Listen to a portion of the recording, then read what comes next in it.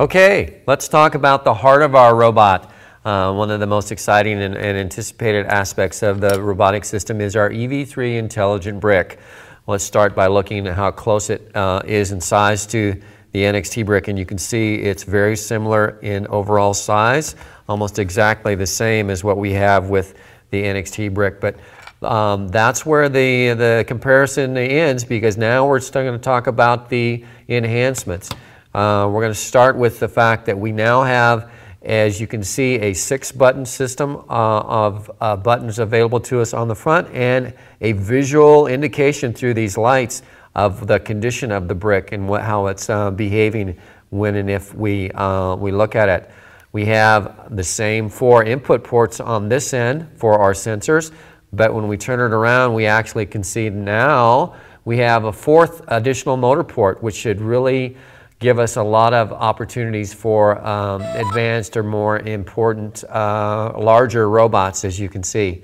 Um, we now have changed our, our LART to a green, uh, which shows that the, the brick is active and going.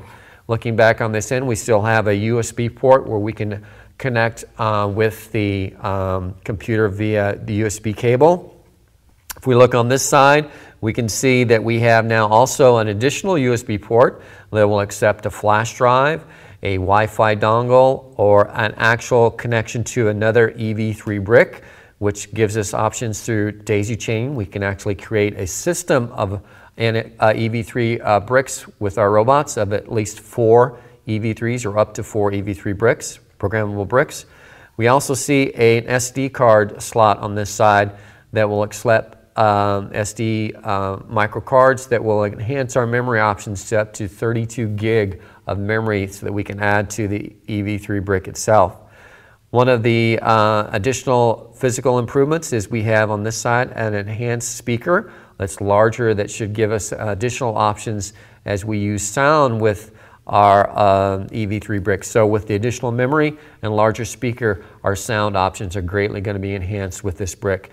One of the, the coolest features that we have and enhancements with this, in addition to uh, all the others that we've covered so far, is we now have an enhanced programmable option on board the brick itself. So that instead of the very uh, simple programs we could do with the NXT, now we can do enhanced on-brick programming up to 12 steps long of uh, actually on-brick programming that won't require a computer. And then in addition to that, uh, one of the cool features is that once we've done this on the brick, we actually can upload that program back to the computer, make enhancements to it, and then uh, actually send it back to the brick. So a huge advancement in the ability that the, uh, the way that the programmable options on the brick can be used. Now, from a communication standpoint, again, we do have the USB wired to the, to the computer, but through our extra port here on the side, we can actually now add a Wi-Fi dongle. So we've got three wireless or three options of communication that we can use with the computer.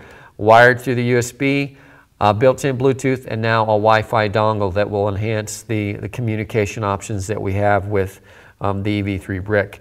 If we look at the back, it will accept a lithium uh, ion battery pack just like the uh, NXT, but we can see that they've enhanced the form factor a little bit, which will allow a, a little bit closer building uh, to the, the base of the brick itself.